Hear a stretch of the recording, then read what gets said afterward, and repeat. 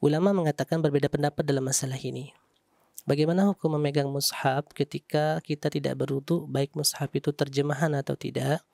Pendapat yang pertama mengatakan yaitu diwajibkan ya, diharuskan untuk orang yang sedang berhadas untuk berwudu sebelum memegang atau membaca Al-Qur'an. Berdasarkan hadis Rasulullah SAW tidak boleh bagi orang yang berapa yang memegang Al-Qur'an itu orang yang suci.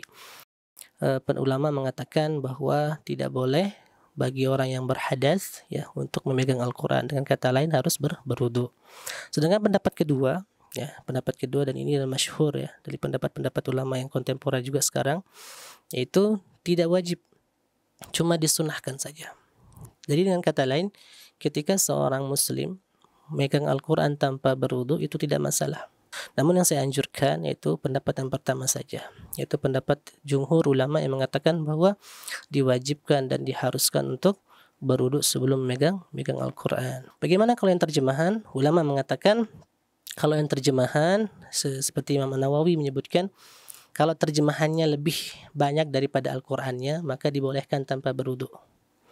Ya, namun apabila presentasi Al-Qur'annya lebih banyak daripada terjemahannya maka di sini ulama mengatakan tetap diharamkan memegang Al-Qur'an tanpa tanpa berwudu berdasarkan pendapat yang mewajibkan berwudu ketika membaca dan megang Al-Qur'an.